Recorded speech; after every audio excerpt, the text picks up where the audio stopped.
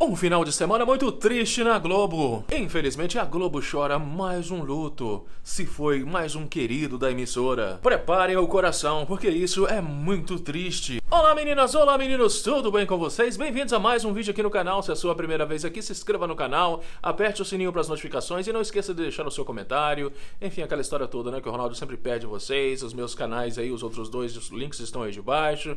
Compartilhe o vídeo, se inscreva aí se você ainda não é inscrito. Ajude o Ronaldão aí a chegar aos 400 mil inscritos. Estamos chegando. E quando chegarmos aos 400 mil inscritos, gente, eu vou lançar aqui no canal a minha música nova, um videoclipe, uma super produção que eu fiz com muito carinho, pensando em vocês e também homenageando alguém que faz parte da minha história. Né? Se você acompanha o canal aqui desde o início, há um ano atrás, sabe exatamente de quem eu estou falando. E é por isso que nós estamos crescendo, né, meninas e meninos? Por quê? Porque vídeos todos os dias, enfim, sempre novidades para vocês. E essa novidade que eu vou trazer para vocês agora é uma novidade que eu não gostaria de dar, que infelizmente a perda, que é a morte de mais um global. Vamos então ao vídeo. Bem, vamos então diretamente ao assunto, né, gente? Porque a Globo está de luto. Infelizmente, mais um global foi de encontro ao Papai do Céu. Algo que nos deixa realmente muito triste, né? Mas é aquilo, né, gente? É o, é o que vai acontecer com todos nós, né? Mais cedo ou mais tarde chega o nosso fim, né? Alguns vão de encontro ao Papai do Céu de uma maneira mais menos dolorosa, outros sofrem antes de partirem dessa, de, desse, desse mundo, né? Enfim, as tristezas elas são enormes, né? E, e, mais triste ainda é o que eu sinto por estar tendo que passar essa notícia para vocês. Olha isso. Verdadeiro bozo da Globo é o Elmar Sérgio morreu aos 78 anos. Eu vou explicar para vocês, gente, e o que, que tem a ver com o Luciano Huck. Elmar Sérgio morreu após sofrer complicações do corona. Ex-diretor, trabalhou por muitos anos com Luciano Huck no Caldeirão do Huck. O ex-diretor do Caldeirão do Huck, Elmar Sérgio, morreu uh, ontem, quinta-feira, aos 78 anos, vítima de complicações do corona. Na Globo, ele era apontado como inspiração de Chico Anísio, Chico Anísio que viveu até 2012, né, para criar o personagem Bozo pela, pela maneira como abordava as mulheres, com quem se relacionou, citando sempre que podia que, que trabalhava na emissora. Elmar começou a carreira como operador de câmera na TV Continental, passou por TV Rio e Excelsior antes de dar início à sua trajetória na Globo.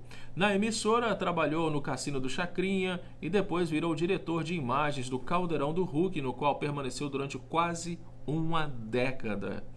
No Instagram, Luciano Huck lamentou a morte do amigo. O apresentador publicou trechos da despedida do profissional do Caldeirão e também alguns momentos de sua trajetória global. O diretor era querido por todos os funcionários e amigos de longa data de José Bonifácio uh, Oliveira Sobrinho, o Boni. Ele era amigo de todo mundo, né, gente? Até do dono da boiada, né? Pois é que, que até citou em sua autobiografia, né, gente? É, realmente, né, todo mundo quer ser amigo do Boni, né? Porque o Dório Boni é o que né, toma as decisões na Globo.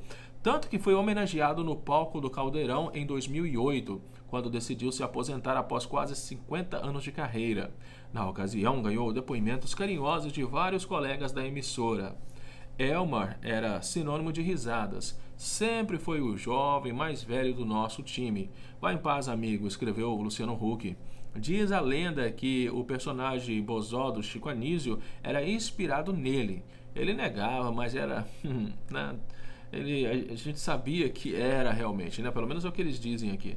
O jornalista se refere ao grande malandro Bozó, personagem do Chico Total de 81 que gostava de contar vantagens e se gabar para as mulheres. Ele sempre usava a emissora para tentar se dar bem. O apresentador também demonstrou tristeza por mais uma vida perdida pelo corona e reforçou sua indignação com a atuação do governo de Jair Bolsonaro no combate à pandemia. Até o Luciano Huck está bravo com o Bolsonaro. Que doença cruel, que tristeza. Esperançoso para que possamos vacinar nossa população o mais rápido possível. Apesar deste governo incompetente, disparou Luciano Huck. Olha isso, gente. Bravo, né? Quem não ficaria bravo, né, gente? 220 mil brasileiros já se foram em 10 meses. Se vocês acham isso normal, vocês não são normais, né? Porque eu, eu não acho isso normal. Ontem meu amigo, meu melhor amigo, tomou a primeira dose da vacina e para mim foi assim, uma alegria muito grande porque né, todos nós queremos chegar neste momento, nesse dia, né, de tomar essa vacina. E as pessoas que não vão tomar, infelizmente, são aquelas que o corona vão, vai, né, tá batendo na porta sempre, né, gente? Infelizmente. Essa então foi a notícia, trágico realmente a morte aí do amigo do Luciano Huck, né, que trabalhou com ele durante muitos anos. Que Deus o tenha, que a família seja confortada. Um abraço para vocês e a gente se vê no próximo vídeo.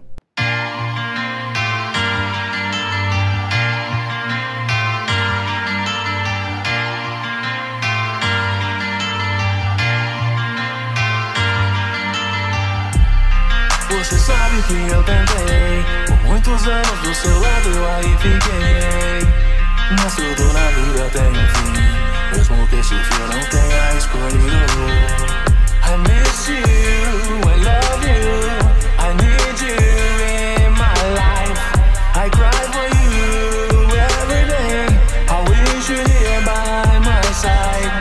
tem sido fácil viver longe de você. Passo os dias eu aqui tentando sobreviver. Te amo e sempre te amarei. Meu amor.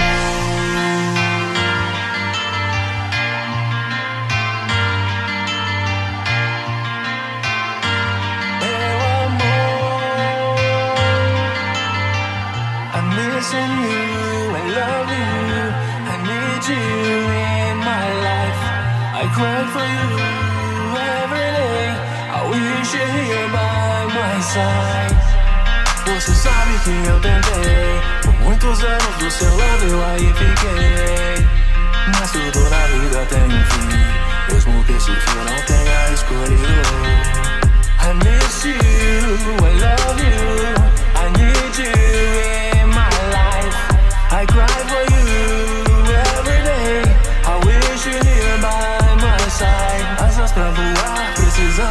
Você sabe que falou comigo. Me disse que pra trás eu não pude olhar. Mas como não olhar, você não está aqui comigo.